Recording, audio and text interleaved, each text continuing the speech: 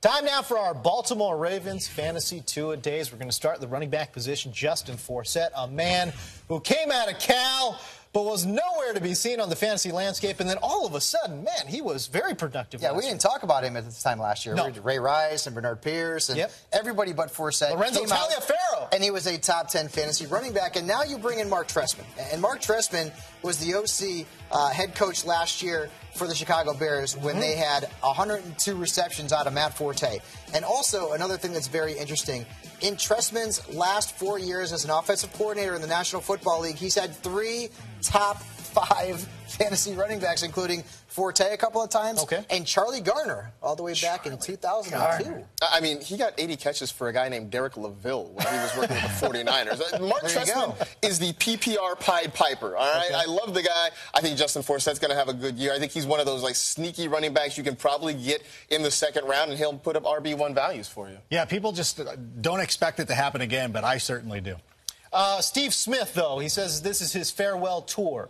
Uh, is it going to be blood and guts and all that kind of stuff for Steve Smith again in his uh, farewell tour, Adam Rank? Yeah, I like him because he plays angry, and you have somebody with just that energy that goes out, and he's got something to prove. That's what his whole NFL career has been about: is proving something point. to everybody. So now in his final season, going away, you know he wants to finish strong.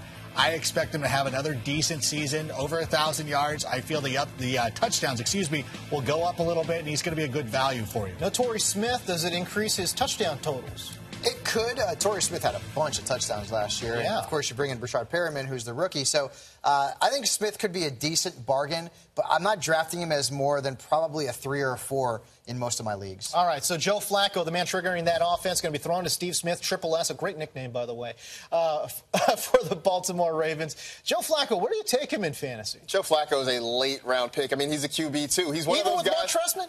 Trestman? Even with Mark Trestman, he's one of those guys who plays great in spurts. If, if I could get Joe Flacco's postseason numbers, Oh, yeah. he's, Oh, he's a QB quarterback one. one all the way. yeah. Just that he's so inconsistent during the regular season. I, I don't want him in anything more than a backup. option. He's the anti-Peyton Manning. Oh. Not a great fantasy quarterback, but somebody you would want in, in real life during the playoffs. But you mentioned Trestman. I mean, uh, in five seasons as either a coordinator or a head coach, his last five, he's only had one quarterback finished uh, better than Jay Cutler in points, and Jay Cutler was not really good from a fantasy standpoint in Chicago. Adam Rank, what do you think there?